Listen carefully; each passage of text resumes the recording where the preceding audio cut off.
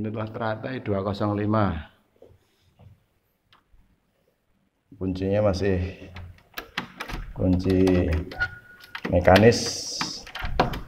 Tidak ada elektrisnya. Kita buka.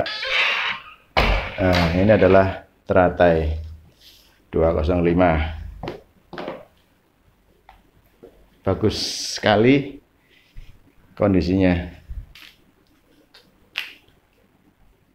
Kamar mandi kita lihat. Shower. Tidak ada air panas atau dingin ya airnya air biasa. Cuman ada AC nya oke saya mau istirahat dulu sebentar. Terima kasih